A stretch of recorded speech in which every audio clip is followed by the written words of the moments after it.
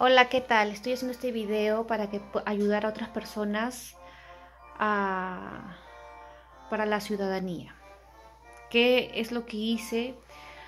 Les cuento que el, en septiembre del año pasado hice mis papeles para la ciudadanía, pero quise hacerlo con un abogado, una abogada, perdón, porque vi muchos videos en el YouTube y vi que había personas que hicieron sus papeles, pero parece que los entrevistadores les hacían como más difícil o, y no pasaban. Y fueron con abogados y sí le hicieron. Entonces decidí ir a hacerlo con un abogado. La abogada llenó la, la solicitud N400 y al cabo de un mes me mandaron la carta para las huellas. Luego me dijeron que se iba a demorar como tres meses, pero no, se demoró mucho tiempo. El 24 de agosto finalmente llegó mi carta a decirme que este 24 de agosto del 2017 iba a ser mi, mi examen. Y ahí me eh, cuando me llegó la carta, que fue como hace un mes, o sea, en julio, me puse a estudiar. Me dieron este libro, que la verdad no lo leí. Y lo que yo hice fue meterme aquí, sorry, one second. Ay, y les digo de que si, de verdad, si saben inglés de 1 al 10, aunque sea 6 o 7, háganlo. Pero si no entienden inglés, mejor no lo hagas. Si vas con un abogado, yo creo que el abogado te podría ayudar, pero si no sabes mucho inglés se te va a complicar mucho porque todo sin inglés, todo. Para mí es, yo que creí, bueno, yo creo que sé inglés de 1 al 10, estoy creo que en 6 o 7 se me hizo muy difícil. Yo creo que fue porque estaba nerviosa. Eh, vi, vi este video de este señor que se llama Inglés Americano 101. Lo vi un durante el mes todos los días como, como unas tres veces al día. Las preguntas personales son más importantes que las preguntas de cívica. Mucho, así le digo, mucho más importantes. Luego vi este video de acá que también ayudó mucho, que fue este de acá. Este de acá que se llama US Citizenship Interview antes 2015 N400. Y también vi, voy a poner más cerca. También vi este video de acá abajo. También lo vi mucho esta señora la verdad que en la entrevista no es como ellos hablan, así de lento, no. Te lo dicen bien rápido. Ahorita lo voy a, lo voy a explicar. Luego, este video también me ayudó mucho de esta persona que te enseña a escribir. No, no te enseña a escribir. Bueno, sí te enseña a escribir, pero te lo te dicta cada, cada oración y luego tú lo ves a la tercera. Eso también me ayudó mucho. Lo veía mucho y luego este de acá también de este de la misma eh, país creo que ha bajado ese video no sé. Ese también pero así de lento no te hacen las preguntas que no sean mentirosos. Luego a menos que tú le digas pero igual no, es igual.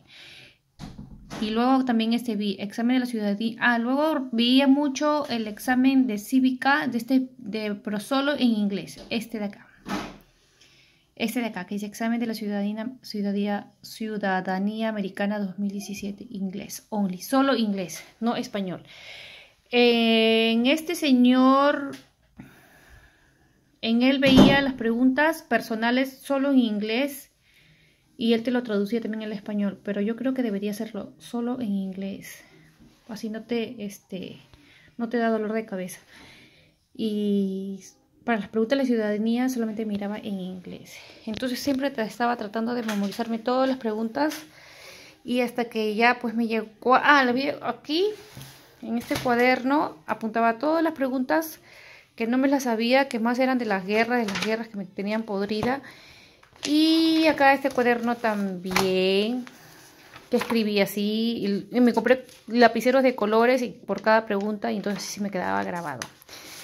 Todas las preguntas, sí, todas las preguntas. Ah, mira, acá me olvidé hacerlo porque... Pero sí. Fue, eh, tenía este cuaderno y otro cuaderno más. Luego me dieron unas tarjetas, mm, tampoco no las usé.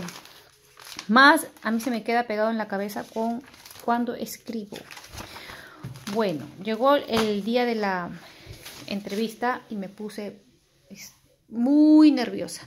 Me dijeron que tenía que estar ahí media hora. Y estuve ahí media hora antes. Mi cita era a las ocho y media y estuve ahí a las ocho de la mañana. Y estuve esperando a mi abogada. Mi abogado no llegaba. Estaba preocupada porque el hombre de la entrada me dijo que la entrevista era a las ocho y media y yo, yo había llegado a las ocho. Pero me dijo de que si ella se demoraría un poco más, que él le diría a la, a la que me iba a entrevistar, que me imagino que era un oficial, dijo que le iba a decir a ella que se iba a demorar, que se podía esperarla. Y yo le dije, ok, gracias. Luego la mujer me llamó como a las 7, no, perdón, a las 8 y 10 me llamó. Como yo era casi una de las tres primeras, me llamó a las 8 y 10 y yo le dije que no porque estaba esperando a mi abogada. Luego me llamó a las 8 y 20 y yo le dije que todavía no porque mi abogada no llegaba. Y hasta que llegó las ocho y media y vi que mi abogada ya había llegado y estaba haciendo la cola y la mujer, cuando me acerqué, la mujer estaba bien enojada, que era una señora muy viejita, con una cara de odiosa, con unos lentes, así que me miraba así. Y me dijo, mucho tiempo se está tardando y ¡plac! tiró la puerta y yo dije, uy, entonces, como yo ya había visto videos de personas que decían que si a ti no te gusta tu, la persona que te va a entrevistar, que lo puedes cambiar. Entonces, ya mi abogada vino y le conté que la señora estaba muy enojada y me dijo, ay, vamos a, vamos a ver qué pasa. Y finalmente, la, de nuevo la mujer abrió la puerta a las 8.40 y me volvió a llamar. Y cuando la vio mi abogada, puso una cara de la cara de enojada que tenía de 1 al 10 tenía el 10, pero cuando lo vio mi abogada, como es americana, o no sé, yo creo que no, tal vez es racista, no sé, porque mi, abogada es reconta grandota y rubia, entonces la vio y ¡ay! le sonrió, no saben, así, ¡ay! Sí, pase, pase, pase, pase, pase. Y mi abogada le explicaba por qué había llegado tarde, bueno. Me, dijeron que la abogada siente a la derecha y tú te vas a sentar acá a la izquierda. Ok, yo me senté. Estaba recontra nerviosa, mis manos me sudaban, mi estómago se puso duro, estaba mi oído que... Y ya. Y lo primero que me preguntó... Oh, lo voy a contar primero. En un papel, o sea, en este cuaderno, lo llevé en mi bolso. ¿Ok? Con todos los papeles de mis taxes y mi partida de matrimonio y los documentos de mis hijos, todo. En este un cuaderno yo había apuntado mi social security, mi teléfono de celular, la dirección de mi casa, que me lo preguntó cuatro veces. Mi teléfono, mi celular también me lo preguntó cuatro veces. Luego, estas son las preguntas y aquí. Luego eh, apunté las fechas de los viajes que fueron fuera de USA ¿Y por qué? Que me la preguntó tres veces. Las fechas donde viví los últimos tres años no me la preguntó, pero lo tenía apuntado en este cuaderno. Luego, ¿cuándo, entré la primera vez a USA? Tampoco no me la preguntó, pero me preguntó la fecha de vencimiento.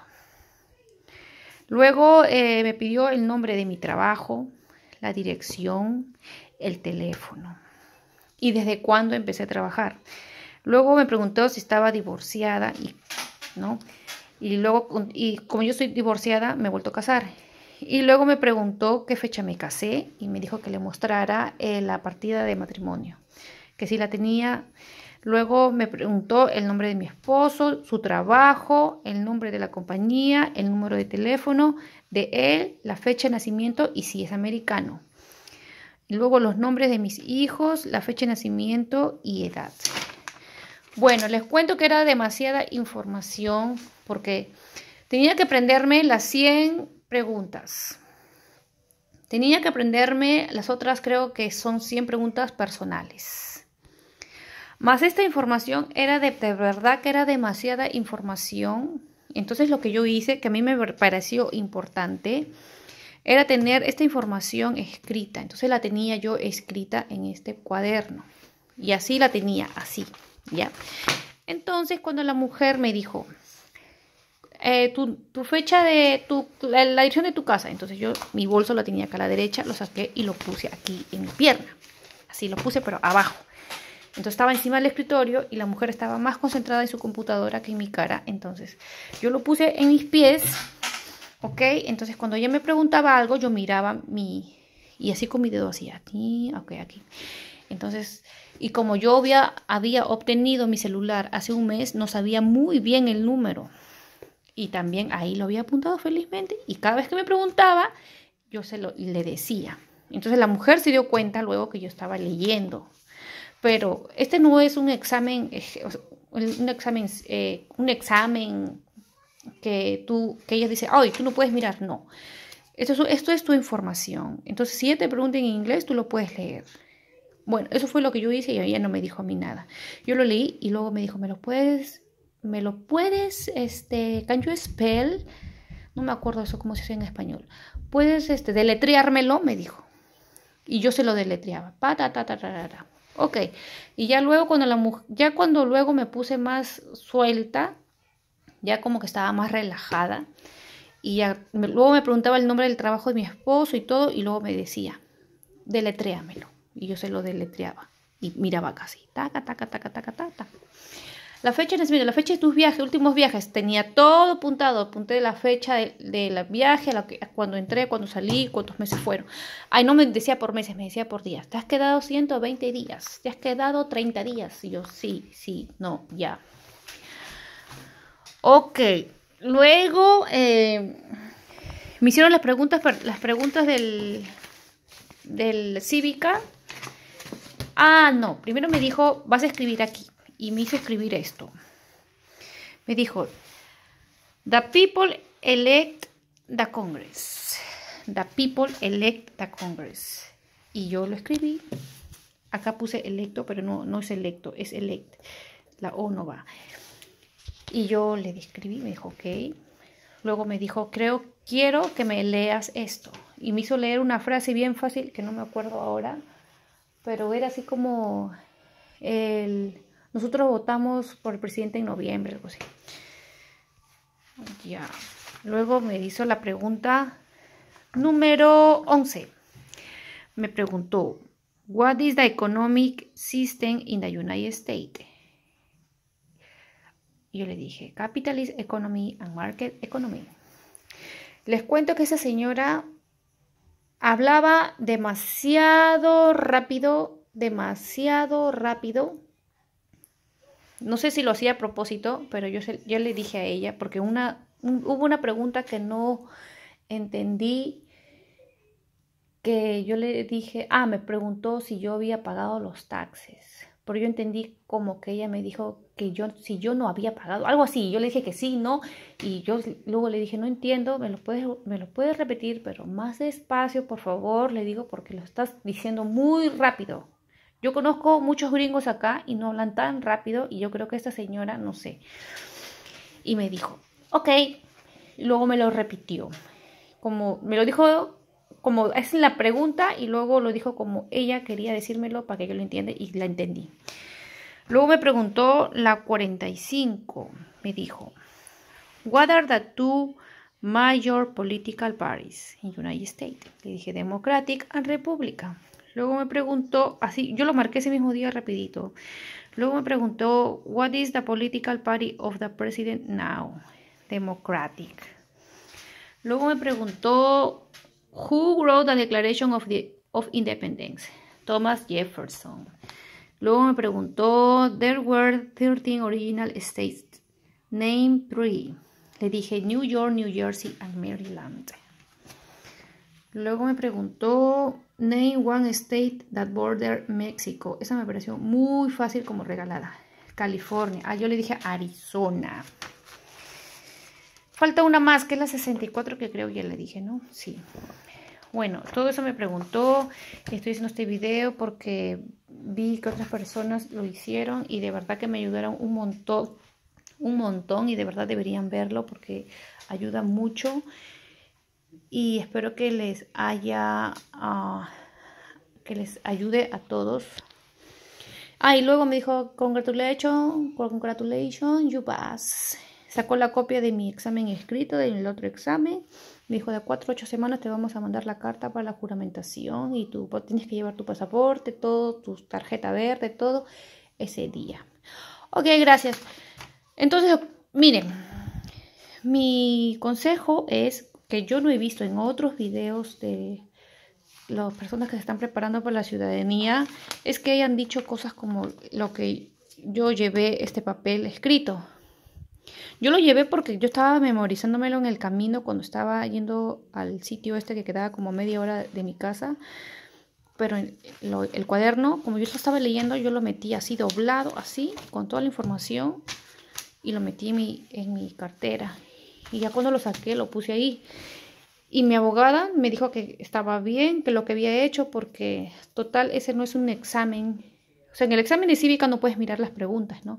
Pero estos eran preguntas personales y si la mujer te pregunta y tú la tienes acá, es mejor. Y la verdad que esto, esto me ayudó mucho, mucho, mucho, mucho. Si no, si no te acuerdas mucho de, por ejemplo, un nombre de la empresa de tu esposo, el número de teléfono, la dirección, esas cosas, sería mejor que lo apunten. ¿Ok? Muchas gracias por todo. Bye.